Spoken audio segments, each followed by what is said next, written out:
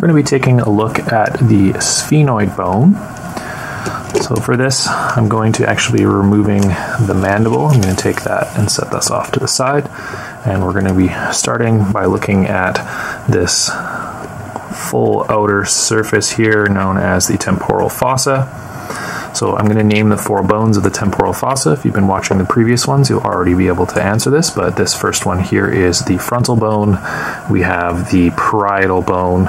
We have the temporal bone, mainly named for the temporal fossa, but down in behind the zygomatic bone here in the orbit, this, where I'm laying my finger along, is known as the greater wing of the sphenoid bone. So it is a part of the bone that is kind of external. If you point behind your eye, you won't be able to make contact with it directly because the muscle temporalis is covering it, but this is a part of your sphenoid, the greater wing. Next, I'm going to be taking that cap away and we're going to return to inside the orbit here. So the very back of the orbit is sphenoid bone. Again not going to be able to make contact with any of that obviously because of your eyes in there. But we can see a pretty round circle in the back here and place my pen inside.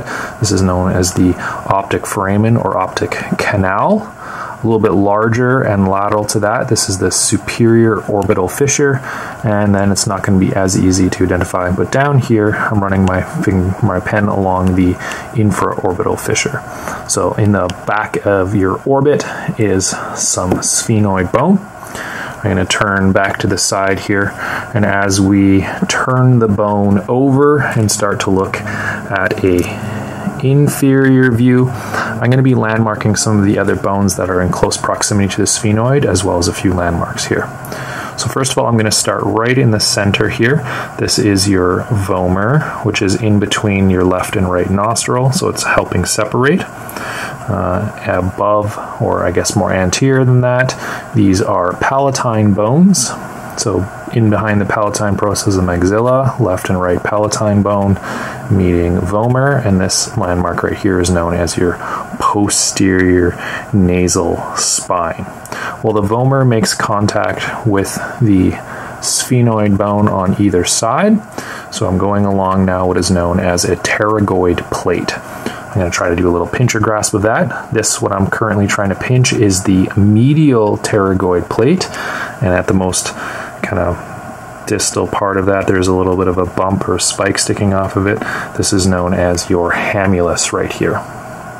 So that is a part of that medial pterygoid plate. Lateral to the pterygoid plate, as you might have guessed, this is your lateral pterygoid plate. A little bit easier for me to show, so I'll be able to pinch that and run my finger all the way along it. And this becomes a little bit more important for the fact that is the origin of both your medial and lateral pterygoid muscles. So they take advantage of either side of the lateral pterygoid plate. So this would be the medial surface of the lateral pterygoid, and this would be the lateral surface of that pterygoid plate. And again, this right in here is that greater wing of the sphenoid bone going up and lateral. Okay, I'm going to point out a few foramen in this area. So we have our occipital bone meeting sphenoid bone, and we have a fairly easy to identify foramen. This is known as foramen lacerum, right in this location here. And if I went just off of that lateral pterygoid plate, we have another fairly large foramen. This is foramen ovale and more posterior and not actually a full opening on this skull. Um, this is the foramen spinosum right in this area. So again, three large foramen all in and around that sphenoid bone. Okay, we're going to change our view and we're going to finish inside of the skull. Obviously, the cap has been removed, and we're going to be pointing out a few bony landmarks in this area as well. Okay, so I'm going to start with my pen and kind of go along. This part of the bone right here is known as the lesser wing of the sphenoid. This is the lesser wing. And off of the bottom of it, this is known as the clinoid process, right in this area here. So just that bottom location.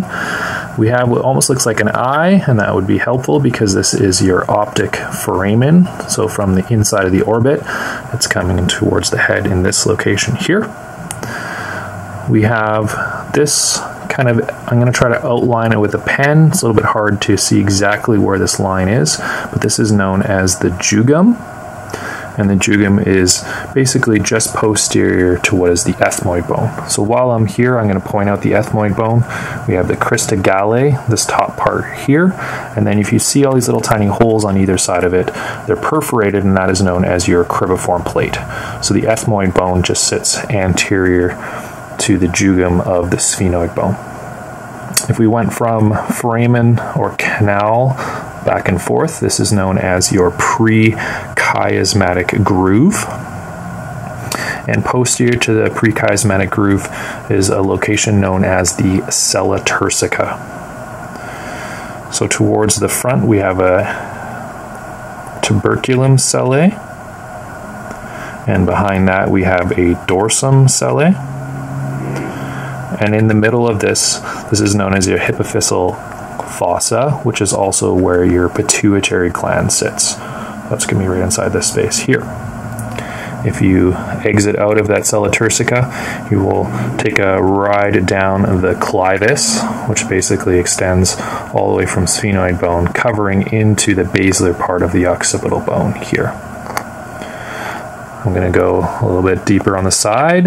Again, all of this, this is now your greater wing of the sphenoid. So you can see that from the outside, but we can also easily see that from the inside. And again, taking a look at a couple of those foramen again from the inside, we have the foramen lacerum right in here and the foramen ovale right there. So that's going to conclude our look of the sphenoid bone.